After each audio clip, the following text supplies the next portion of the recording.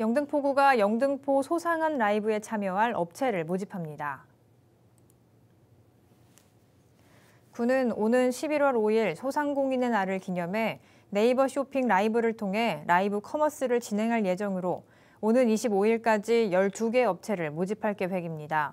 선정된 업체는 스튜디오 및 촬영 장비, 소품 등 라이브 커머스에 필요한 일체의 기재를 포함해 상품 판매 컨설팅과 쇼호스트 섭외까지 지원받을 수 있으며 판매 수수료는 참가 업체가 직접 부담해야 합니다.